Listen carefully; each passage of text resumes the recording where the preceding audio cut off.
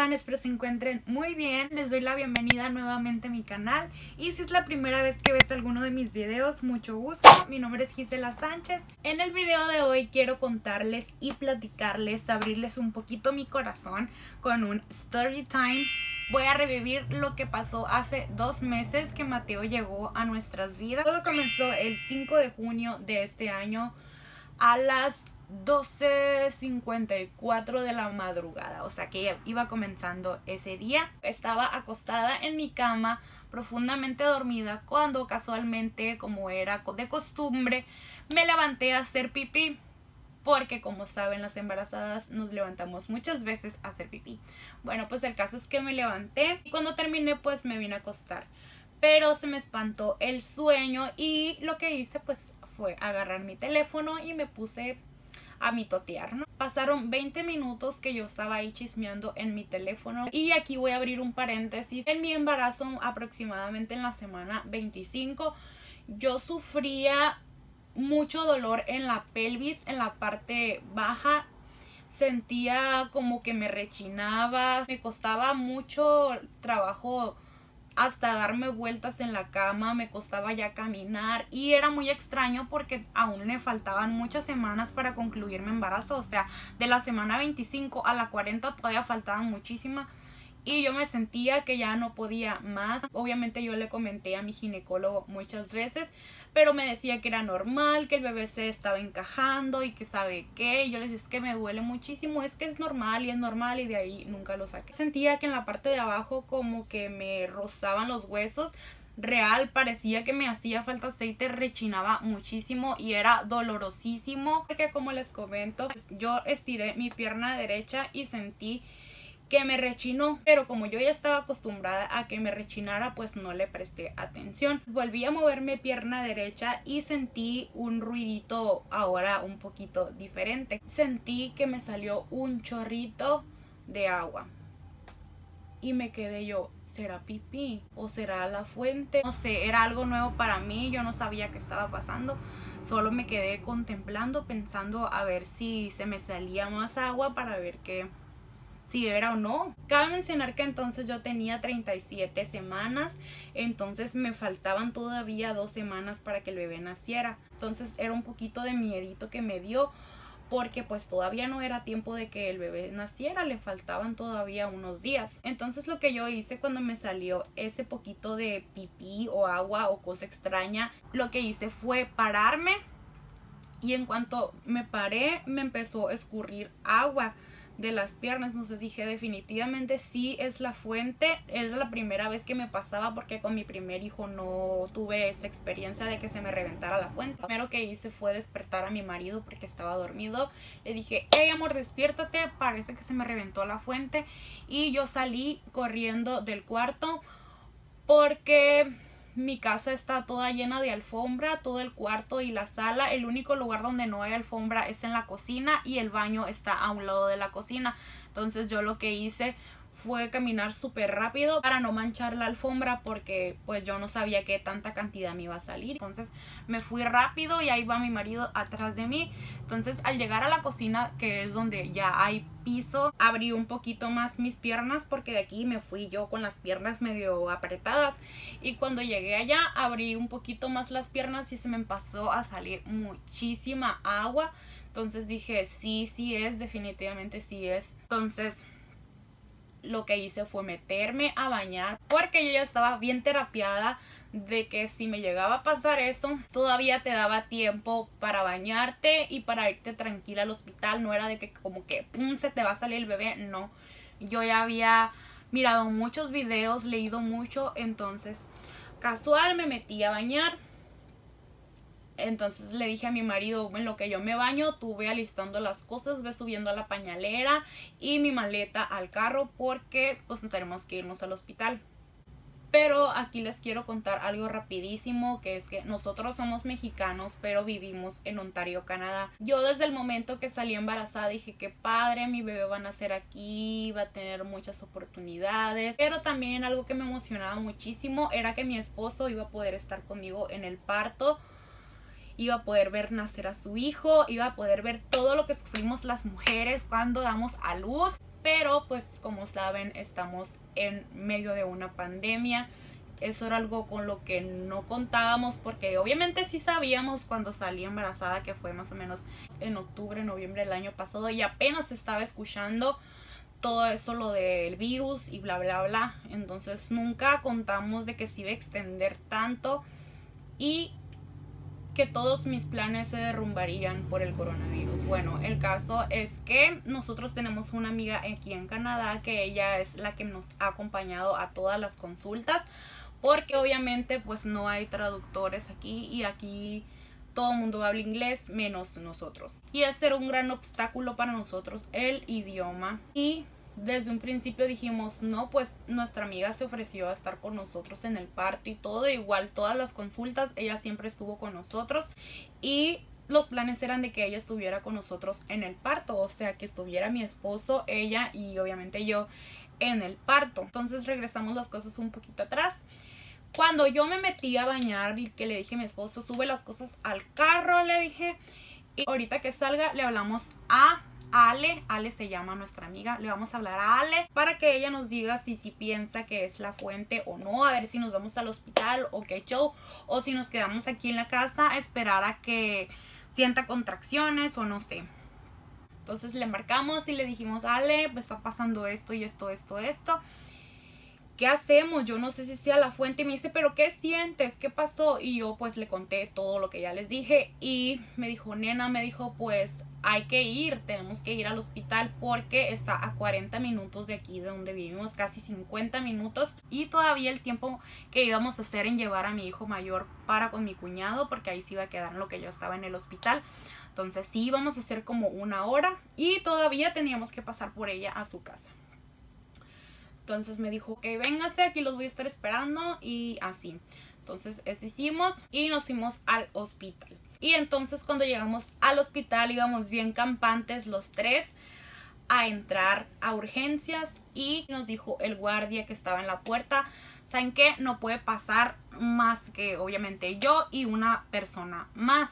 Entonces, entonces, obviamente tenía que entrar Ale conmigo para lo de la recepción, los trámites y todo eso teníamos todavía poquito la esperanza de que más al ratito él pudiera entrar. En ese momento no nos importó porque yo ya traía contracciones en todo el camino. Yo venía, bajé una aplicación en mi teléfono y yo venía marcando cada contracción que me daba y yo traía las contracciones cada tres o cinco minutos y me duraban aproximadamente un minuto cada uno.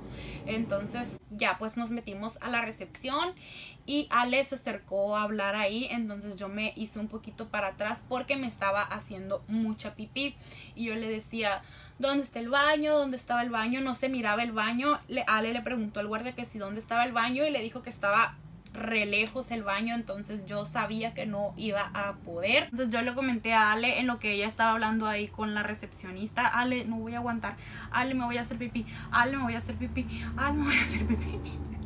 ¿Y qué creen? No me pude aguantar. Ahí estaba yo en medio de recepción haciéndome pipí. Lo bueno que no había gente, solo el guardia y estaba súper lejos, entonces yo sentí muchísima vergüenza de que me estuviera haciendo pipí. Pero era muy extraño y me sentía muy confundida porque no sabía si era pipí o si era la fuente, porque ustedes saben que la pipí pues la puedes contener y eso era algo que yo no podía contener y era muchísimo, muchísimo. Y cuando yo me estaba haciendo pipí, lo primero que hice fue voltear a ver a Ale y le dije, dígale por favor a la de recepción que me disculpe, pero pues yo no me pude contener, no, no lo pude evitar. La de recepción como si nada le dijo, ay, no te preocupes, son cosas que pasan, son cosas normales. Hemos mirado cosas mucho peores. Entonces pues ya como que me relajé y ahí me fui toda miada en la silla de ruedas para la planta de arriba porque era un hospital gigantesco, plebes, estaba hermoso, grandísimo, me gustó muchísimo el hospital y al llegar arriba pues nos atendieron súper bien.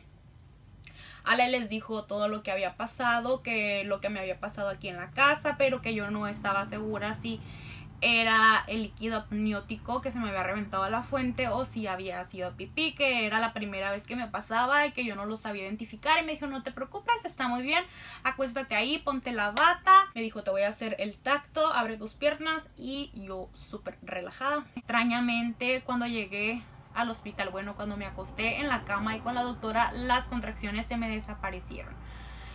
Y dije, pues no me van a creer. Yo dije, no era la fuente la que se me reventó entonces. Espero, ojalá y sí sea la fuente la que se me reventó, porque si no van a decir que me hice pipí, que me mié. Y yo no siento que sean miados porque yo no lo pude contener. Y la pipí sí la puedo contener y eso no lo pude contener. Entonces yo decía dentro de mí, ojalá y sí sea eso, ojalá sí esté dilatada porque es verdad que yo tenía contracciones en el carro, ahí venía, mi esposo estaba de testigo de que me venía doliendo muchísimo. Llegué al hospital y se me desaparecieron las contracciones. La enfermera me dijo que tenía tres dilatación, entonces se fue y me dijo, ¿sabes qué? Ahorita va a venir la doctora y te va a hacer una prueba para saber si, si reventaste fuente o no. Entonces la doctora me dijo, abre tus piernas, me dijo, te voy a meter un cotonete como de este tamaño entonces me dijo, te vamos a hacer la prueba y pues yo abrí las piernas, volteé para el techo y solamente miré cuando lo sacó y, y el algodoncito de la cosa esa que me sacó estaba de color negro. Entonces me dijo, sí, efectivamente, sí reventaste fuente.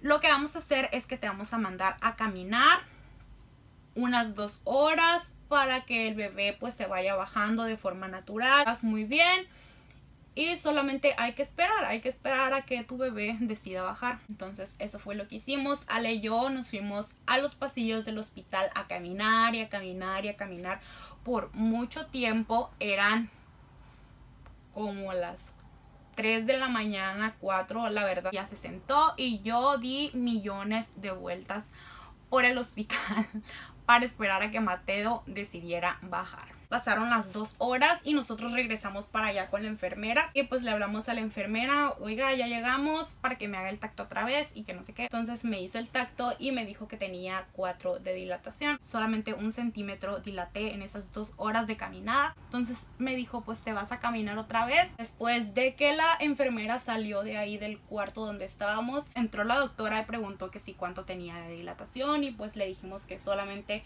habíamos avanzado un centímetro y me dijo, ¿sabes qué? Si tú quieres, puedo hacerte algo para que tu bebé baje más rápido, te voy a estimular tus partes. Entonces yo lo que quería era que el bebé naciera ya, entonces le dije, sí, hágame lo que me tenga que hacer.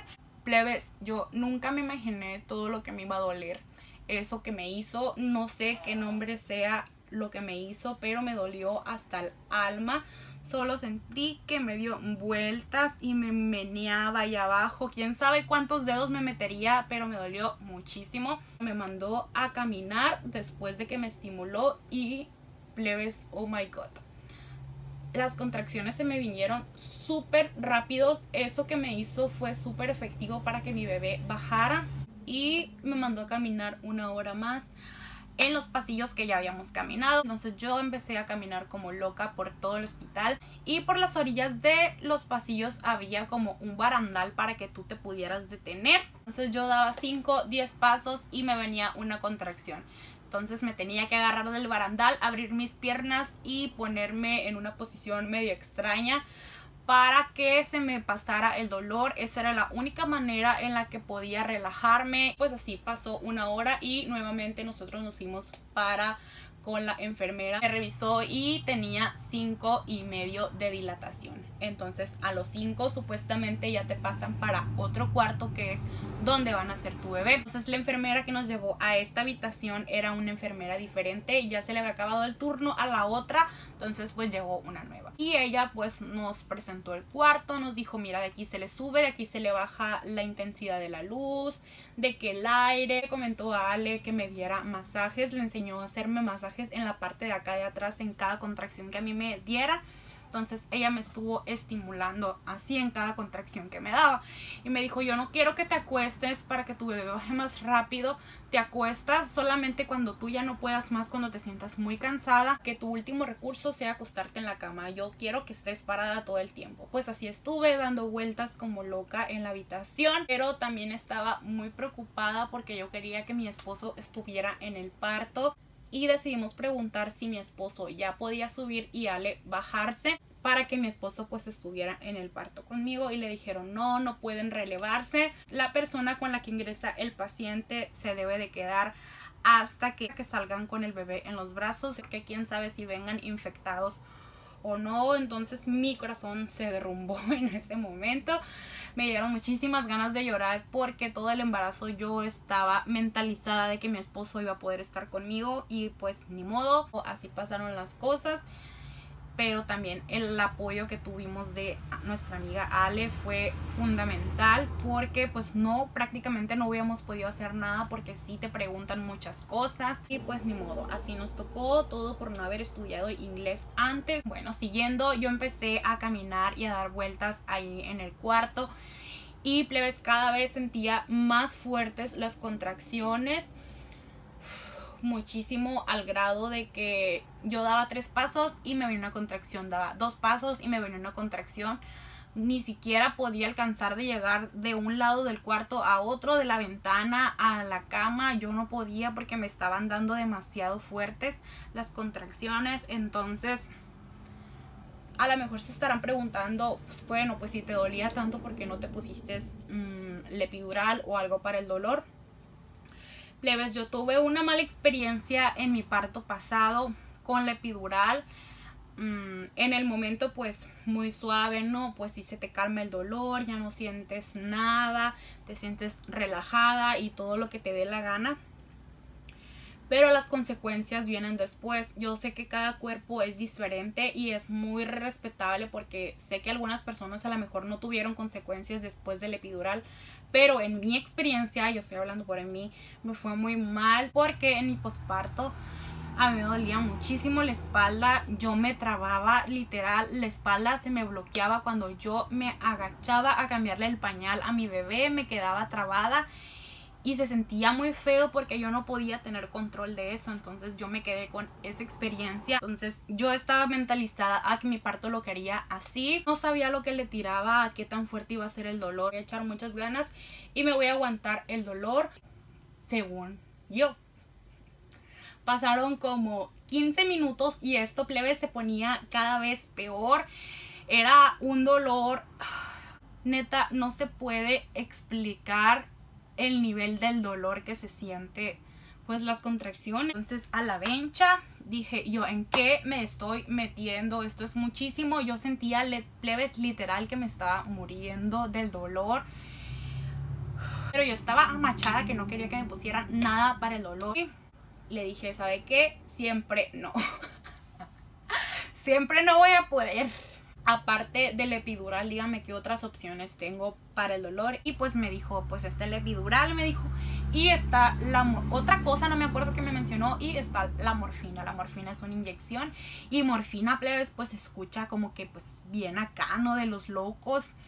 Obviamente era de broma, sé que la morfina lo utilizan para el dolor. Entonces dije, pues póngame lo que sea, no me importa. No, nomás yo no quiero el epidural, sí, póngame la morfina. Y, y pues me la puso me puso la inyección de la morfina aquí en la pierna derecha, que por cierto me dolió muchísimo. Es un ardor lo que se siente, como que te quema cuando te pones la morfina. Entonces, ahí estaba esperando a que me hiciera efecto eso que me pusieron. Le dije a la enfermera, oiga, ¿cuánto tarda en hacer efecto esta cosa porque me duele muchísimo. Me dijo aproximadamente de 10 a 15 minutos te va a hacer efecto. Yo le dije hágame el tacto por favor y me dijo no, que no te lo puedo hacer, que va a ser muy incómodo y que no sé qué. A ti todavía te faltan como 3 horas. Entonces eso fue parte de que yo decidiera ponerme eso porque mi dolor era insoportable y yo estaba muy macha de que no quería que me pusiera nada para el dolor. Entonces ya fue cuando yo le dije, sí, póngame lo que sea, yo no voy a aguantar tres horas porque miento, fue antes de que me pusieran la morfina. Ella me dijo que me faltaban tres horas. Pues después de que me puso la morfina, me inyectó. Nos dijo, ¿saben qué? Eh, voy a ir por un café, ahorita voy a regresar le mandó a hablar a una enfermera, ella es fulanita de tal, era otra enfermera que se iba a quedar a suplirla en la que ella se iba a tomar un café y pues así quedó plebes, ah ok, que le vaya bien.